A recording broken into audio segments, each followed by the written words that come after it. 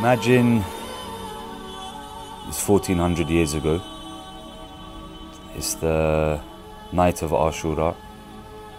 You see people leaving the camp of Imam Hussein in their hundreds and thousands. For a split second, your eye falls on the face of Imam Hussein salam, and you decide there and then that you're going to stay, knowing full well tomorrow you're going to fight in the war or participate and lose your life.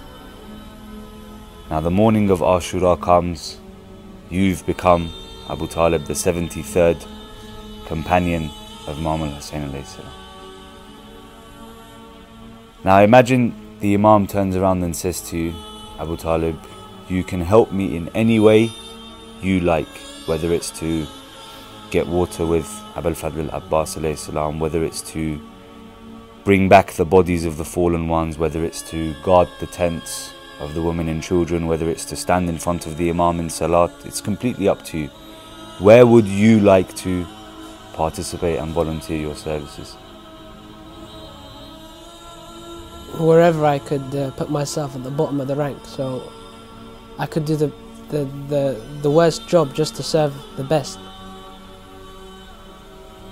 What What do you think the worst job would be in that situation? If it's guarding Imam Hussein's horse or being a shield for him, so I just you know give away what I most valuable have, and it's my life, just so I can have Imam Hussein for myself and make him happy for a follower of him. Okay. Now imagine you you've gone to work one day you've come home, you open the door, you see your family running around frantic. Everyone's, someone's preparing fruit, someone's preparing food, drinks, etc. You've got guests at your house. So you walk in home and you ask your dad, your mum, what's going on? They say, someone's come to see you, Abu Talib. You say, who, where is he? How can I see him? Say he's waiting in the living room. So you go, you open the door to the living room, and you see in the living rooms Imam Hussein salam sitting there waiting for you.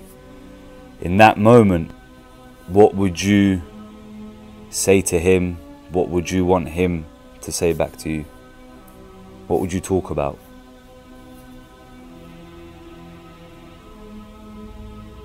You see the silence we just had right now? I'd have the same silence. I'll just uh, look at his shadow. I won't have the toughness to look at him personally. Just look at his shadow because Imam Hussein is a very big topic to me. He's not just uh, the person we say he is. It's not just Imam Hussein, no. Well, I say it personally because I feel I have a very strong relationship with Imam Hussein, especially serving Imam Hussein. So, uh, I won't have the toughness to look at him personally. I'll have, I just look at his shadow, and I think that would be like too much of a treat for me to look at his shadow. What would you want to hear from him? What would you be happy with if he was to turn around and say something? What would you want it to be? What would you be expecting to hear? Would you want to hear, I've accepted you?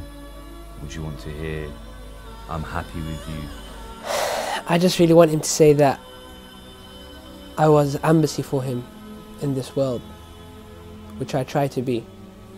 And I actually represented and presented what he taught and what he fought for.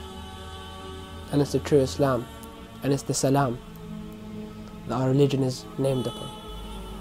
Roughly now, there's about 50 days left to Ashura.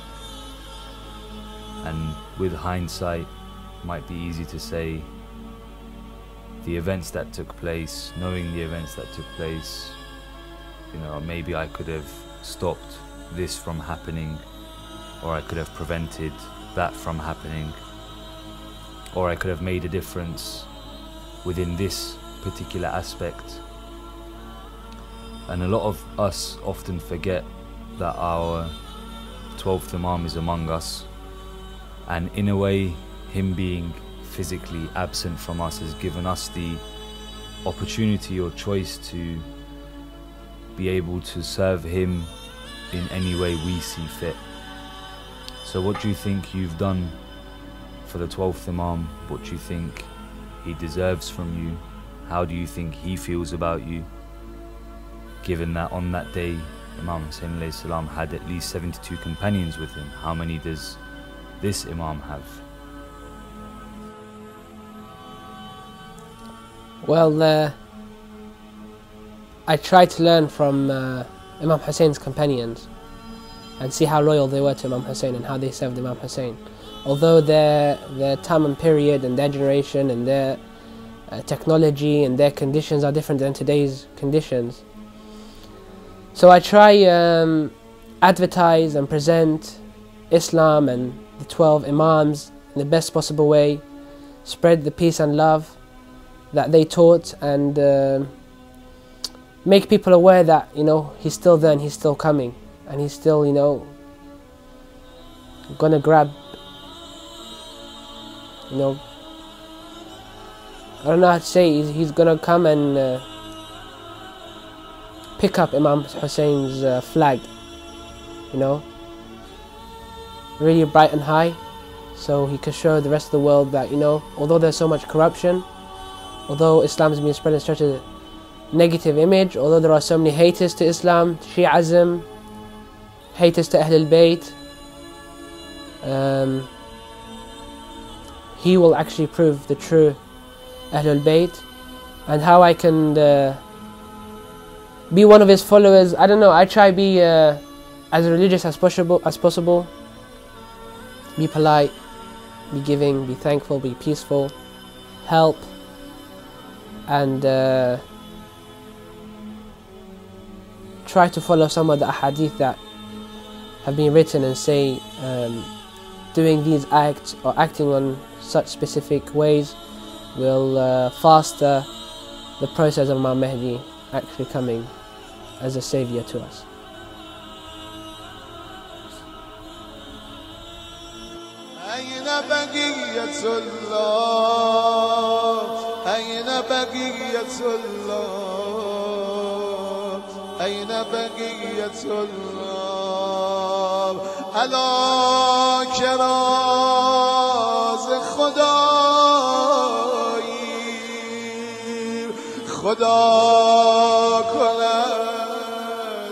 بیایی.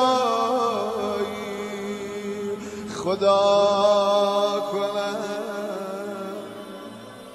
تو نور غیر نوایی.